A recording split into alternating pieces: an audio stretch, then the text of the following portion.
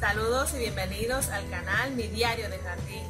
Nos complace enviar saludos a cada uno de los suscriptores que nos siguen desde España, Ecuador, Bolivia, Almeria. Conozco personas de allá que me envían saludos cordialmente por el canal. Chile, México, Perú, República Dominicana y China.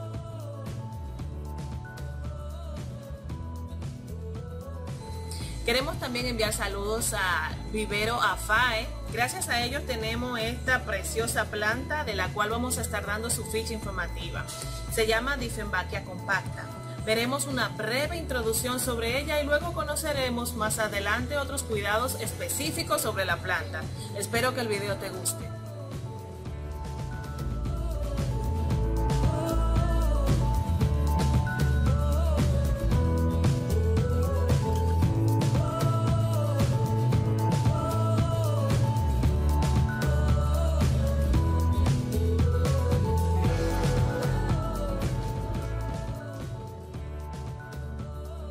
Diffenbachia picta maculata.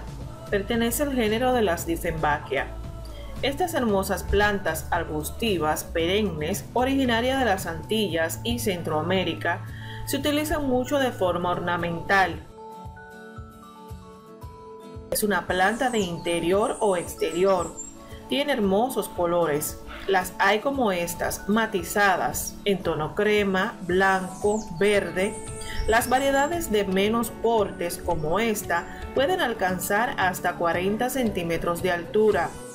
Son muy hermosas. Son plantas delicadas que se manipulan con cuidado debido a los cristales de osalato de calcio en sus células. Pero si algo nos ha enseñado estos tiempos es que no debemos llevarnos las cosas a la boca. Estas plantas ornamentales son las más utilizadas en el interior, la casa u oficina, ubicadas en salones bien iluminados. Si la llevas a jardines de exterior, la iluminación debe de ser intermedia. Ahora veamos su ficha informativa.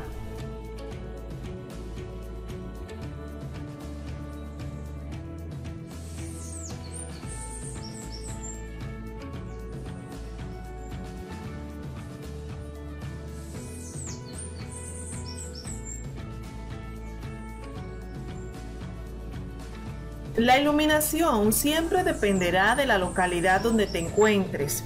Estas plantas no soportan el sol directo, principalmente si exceden los 25 a 30 grados centígrados. Por ello, la luz intermedia es mejor. Si le proporcionas un lugar iluminado, debe de ser con luz tenue y ambiente fresco. Allí pueden sobrevivir, pero nunca el sol directo o el ambiente seco. Los tallos de esta planta se pudren si se cultiva en lugares fríos o invernales.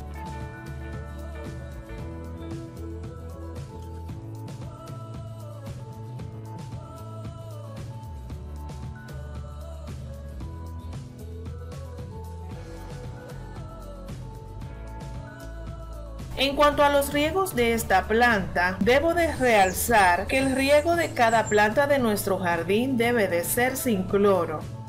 Por ello, si no estamos muy seguros de que le vamos a proveer este tipo de riego a nuestras plantas, es importante colocar vinagre en el agua de riego y dejarla en reposo. Esto le quita la cal y el cloro, asegurándonos de que estará adecuada para emplearla para riego en nuestro jardín. Además el vinagre es muy importante porque le ayuda a la planta a defenderse en cuanto a la deficiencia férrica. Los riegos en verano serán abundantes. La tierra puede mantenerse húmeda pero sin encharcamientos. Aquí se vale poner el plato. Así mantendremos la humedad en nuestras plantas. En ocasiones también puedes pulverizar las hojas de esta difenbachia. Para limpiar las mismas, pasa solamente un paño húmedo con mezcla de agua de riego, canela y una tapita de vinagre. Esto le quitará el sucio y las bacterias. Estamos aprendiendo bastante. Además de todo, mediante el riego también vamos a abonar nuestra difenbachia. Esto lo haremos cada 15 días con fertilizante mineral. En épocas de reposo dejaremos de hacerlo para que la planta utilice sus propias energías acumuladas. Por ello se poda antes de esta fecha, la cual es en los meses de invierno.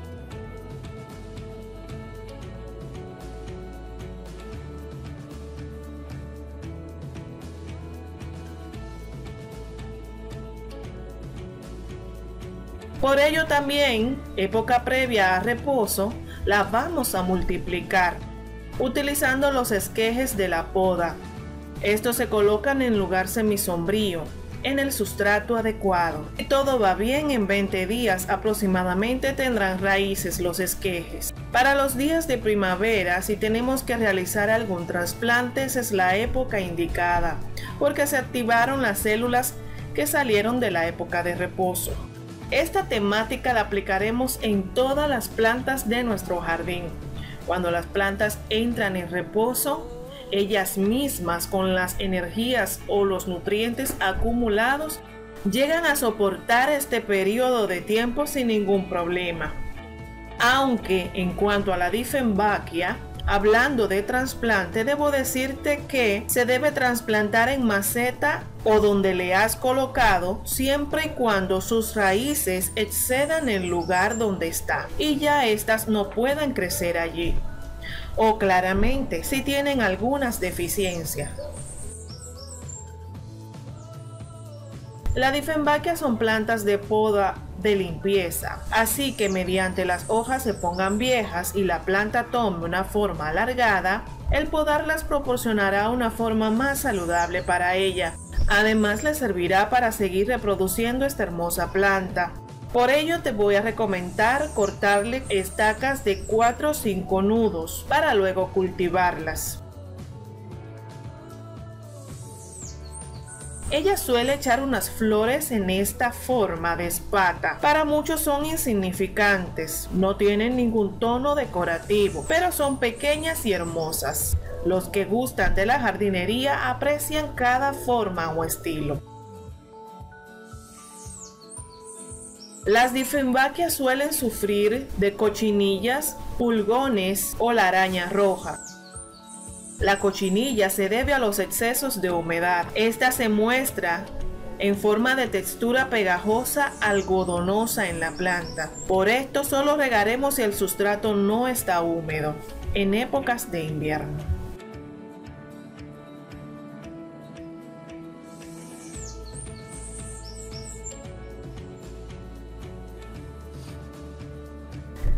En cuanto al sustrato, estas plantas suelen ser atacadas por diversas plagas, por ello el sustrato debe de contener elementos que le ayuden a superar el moho. Así que haremos una mezcla de turba, tierra orgánica, ramas u hojas trituradas.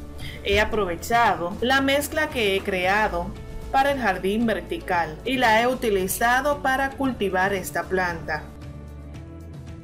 Además de todo le hemos agregado trozos de carbón vegetal. Esto nos ayudará también con el moho.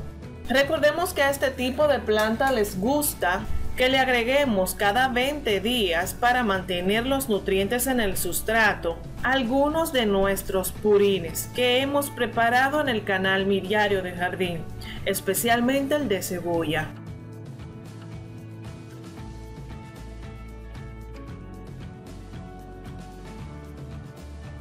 Gracias por ver este video y gracias por compartirlo. Sé que también te ha gustado igual que a mí esta planta.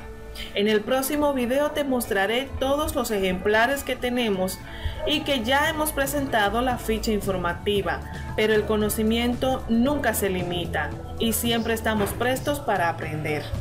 Gracias y que Dios te bendiga.